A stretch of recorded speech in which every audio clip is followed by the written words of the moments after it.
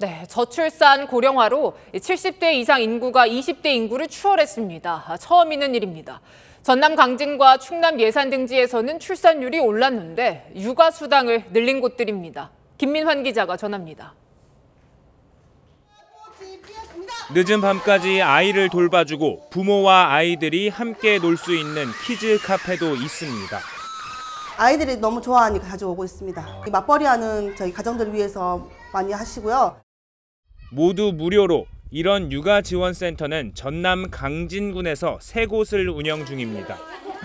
특히 지난 2022년부터 강진군에서 태어난 아이들은 7살이 될 때까지 육아 수당 등으로 한 명당 5천만 원 가량을 지원받고 있습니다. 부모의 소득이나 자녀 수 등 자격 제한이 없습니다.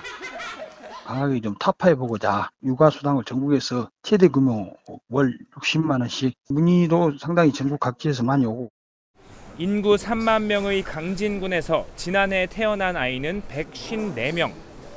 전년에 비해 65% 늘어 전국에서 출산 증가율이 가장 높습니다. 전국 226개 시군구 중 지난해 강진군처럼 출생아가 늘어난 곳은 45곳에 불과합니다. 지난해부터 출산 육아 지원금을 첫째의 경우 200만 원에서 500만 원으로 2배 이상 올린 충남 예산군도 출생아 증가율이 20%를 넘었습니다. 서울 25개 자치구 가운데 유일하게 출생아가 13.5% 늘어난 강남구는 지난해부터 첫째, 둘째를 낳으면 200만 원씩 주고 있습니다. 강남구는 서울 자치구 중에서 출산 지원금이 가장 많습니다.